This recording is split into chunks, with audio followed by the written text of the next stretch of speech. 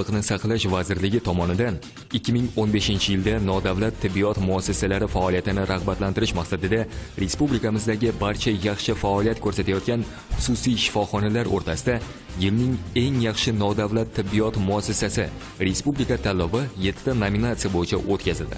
Tanlovning eng yaxshi statsionar sharoitni tashkil etgan nodavlat tibbiyot muassasasi nominatsiyasida Andijon shahridagi Sog'lom turmush klinikasi munosib ishtirok etib, respublika bosqichida faxrli ikkinchi o'rinni qo'lga kiritdi.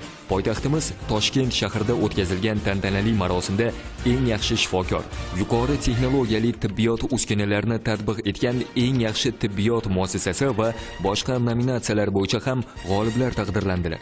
assalomu alaykum bugungi anjuman e, bugungi mana shunday e, tabriklar bugungi mukofotlar.